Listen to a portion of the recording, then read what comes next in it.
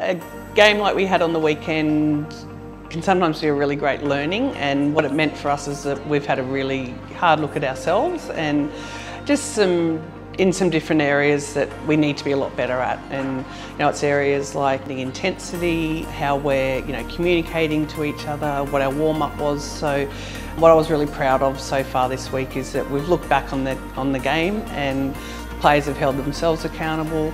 We've adjusted what we've needed to and we've hit the training court really well so far. We were you know, really disappointed with how we played the game. There was some real individual performances I thought we could take a positive from and one of those was um, Karla and Phumza still I think were building and we saw some really great movement. And when we did come out in that third quarter and, and um, you know assert some dominance and we won on the scoreboard.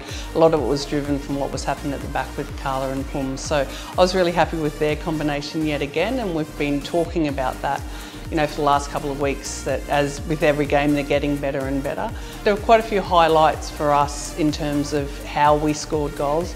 We just need to do it more consistently and make sure that when we do get these balls from our defenders that we are converting them.